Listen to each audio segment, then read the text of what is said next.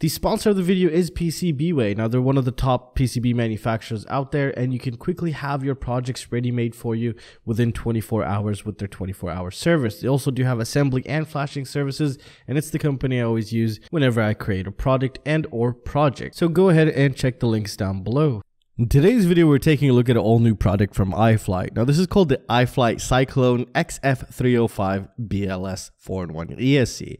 Now, this is the budget line of 4-in-1 ESCs that iFlight's been releasing, and it's rated for 45 amps, and it's only rocking BL Heli S, but it does run to 26S voltage, which is really great here. Now, we will be covering quite a lot today, so there's going to be timestamps down below. Now, some of the things we're going to be covering is the accessories, the overall advanced breakdown of the ESC's design, and also a beginner setup guide, how to connect this to any flight controller if you didn't buy any of the iFlight products. So we're going to be covering every single thing you might want to know about this ESC. So with that being said, let's get started. Now, I was considering this a budget ESC. The, the amount of things they do provide you in the package is actually quite spectacular. Not a lot of companies do that, which is really great. And also the design is really great here. So let's take a look at some of the things here. They give you a full-fledged XT60 connector with the proper wires. And these are 12 gauge wires, which is plenty enough and is going to be perfect for any build. They also give you the standard connector, especially if you're going to be using any other iFlight flight controller, so you'll be able to connect this directly and you should be good to go. But so always double check the pin layout here so you don't really damage anything. So just keep that in mind here. They also give us another spare one that will go to any other flight controller that's not iFlight related, which is really great here. And they give us these rubber O-rings. They're not really, they're just O-rings that are going to sit under the flight controller or they're just going to sit above the flight controller or any anywhere else really. They're not meant to go in anywhere. And they do have rubber grommets that are built in, but they only give you these four, and they do come pre-installed, which is really nice. However, these eight are slightly different because there's only four of them, four official rubber grommets that go into the hole, and these are just meant to sit below or possibly above anywhere in your stack setup here. So now let's go ahead and jump into the advanced breakdown part. Alright guys, so this is the advanced breakdown of the 4-in-1 ESC. So first of all, we can see, let's actually take a look at the filtration first of all. So we see here we got some pretty decent filtration. It's in the lower OKs and you're definitely going to, and I definitely recommend you add a low ESR capacitor, whether you're running a 4 or a 6S build because obviously this takes both. And speaking of low ESR capacitor, I like the design aspect. They give us two holes to insert our low ESR capacitor to make the overall installation process much, much easier. Now, if you don't know how to install the low ESR capacitor, I will cover that in later part of this video for the beginner setups. Now, they don't provide you with a capacitor, so you're going to have to get your own, so keep that in mind as well. Now, for the MOSFETs, they're using Toshiba FETs. Usually anything that starts with TP stands for Toshiba. So they are using a well-known name brand here, which is really great to see. Now, for the pads here, they've also done edge plating, which is a much more expensive process where you see also right on the edge side, you see that copper. And what that does is it just increases the copper and gives you more place where the current can flow, which also means more power delivery. And it's something you always want to kind of look for. So they've checked that box in my opinion. Filtration isn't really a check in my opinion. Design aspect here or ease of use, they also get another check. Um, for the rubber grommets, it's really nice that they've installed that also. So these are these just come with it, but they don't give you any spares here. So just keep that in mind. Um, also, make sure you take note of the motor numbering here. So we have motor one, two, three, and four. So this is how it's supposed to be installed in your quadcopter with this being the front up here and the battery leads would be in the back. So keep that in mind. And this should be up top the unit. The FETs, you should be able to see the FETs up top here. Now, if we move to the bottom side here, we see that the logic is very beautifully laid out. It's like art right here. This is so clean. So it's really nice. Is you could easily distinguish the four ESCs in this board. So here's one, here's another one, and here's the other one right here. So that's the whole circuit for an ESC. It's very simple actually. And then you get some of these uh, FETs right here. So you have like one, two, three, four, five, six. So for example, these would be for here, these would be for here, and these would be for here. Same thing goes for this. So these are the ones in charge of everything right there because you need two FETs for each phase if you didn't know that. Now, if we take a look at the microcontroller unit, they are using the BB2 chips and that's why it is a BL Heli S. So D-Shot 600 maximum here uh, no telemetry. And we also do have shunt resistor for current reading, which is a must nowadays.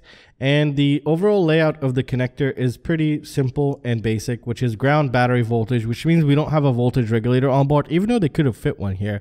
So whatever you're going to be pairing this up with, make sure you uh, make sure your flight controller takes battery voltage because that's what the ESC is going to give here. And then we have our motor one, two, three, and four outputs. Current reading, which is obviously this guy right here.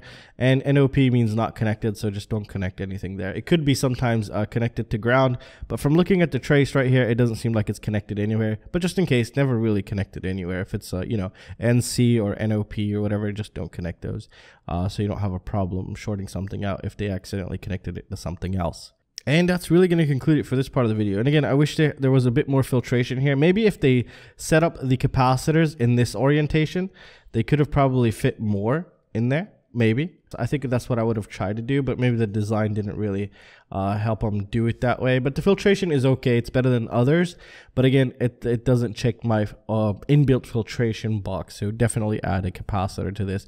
And you, you, you're more likely going to have noise in your video feed if you don't add a low ESR capacitor with this setup, especially if you have noisy motors. And that's going to conclude it for this part of the video. Let's go ahead and jump into the beginner setup guide if you don't know how to connect this. So in this part of the video, we're going to be covering the power and also the orientation or how this ESC should be installed in your quadcopter before jumping into the flight controller connection.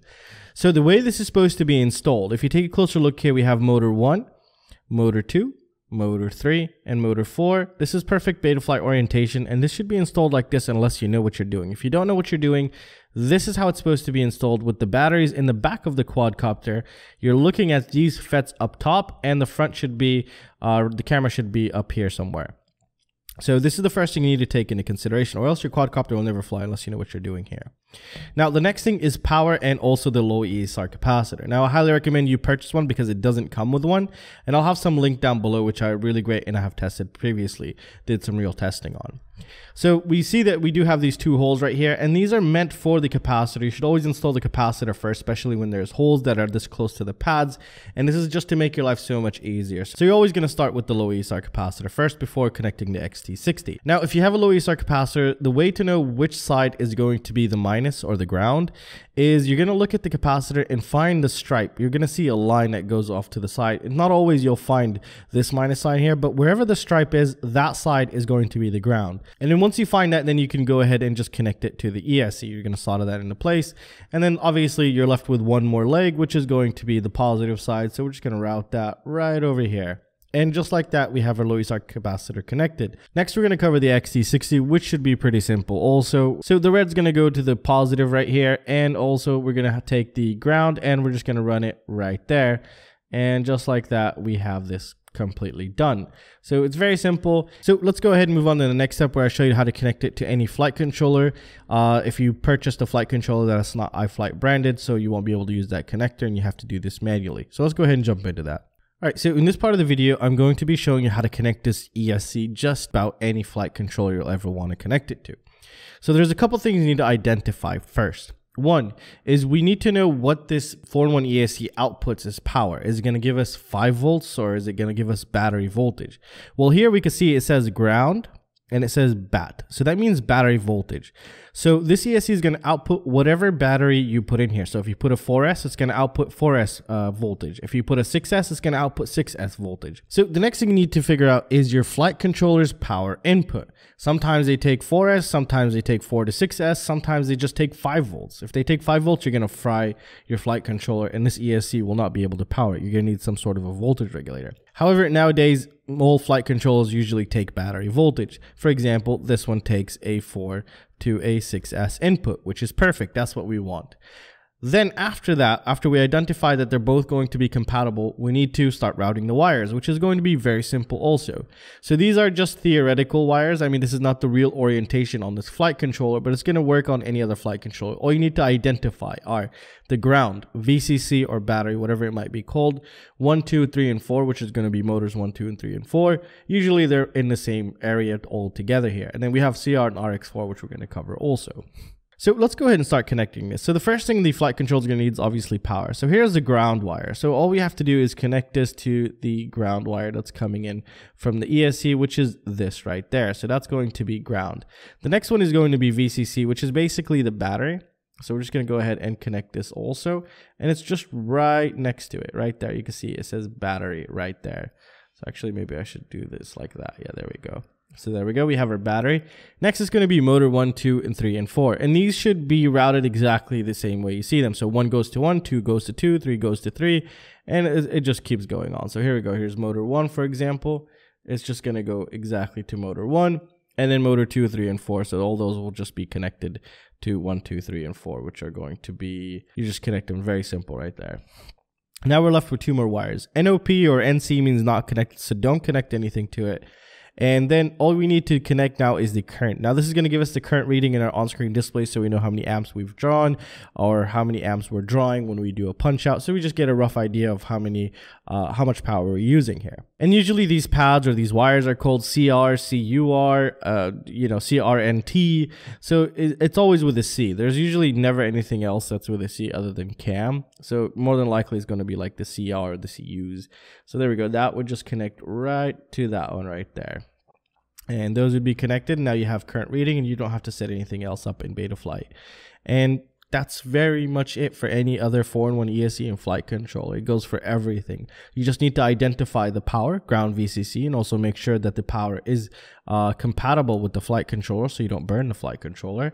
And just route motors 1, 2, 3, and 4 and then the current pad. And telemetry, obviously we don't have telemetry here, but it would be that last wire which will go to that telemetry. And we'll cover that in a later video once we get in 4-in-1 ESC with telemetry. And well, that's it guys. I really hope you guys enjoyed the video. Everything is linked down below. Make sure you check those out. Those greatly support the channel. Also come join my Patreon. I do a ton of giveaways where I give out most of this stuff for free. Uh, I do 10 plus giveaways. New Patreons for the month get their own separate giveaway. So if I got like one, she's going to win. If I get like five, it's going to be between those five, two, between those two. So it also does really support the channel. And also check my merch. I do have a lot of nice FPV merch that we design and create on the website, which is shopdronemesh.com. And I'll see you guys in the next one. Peace out.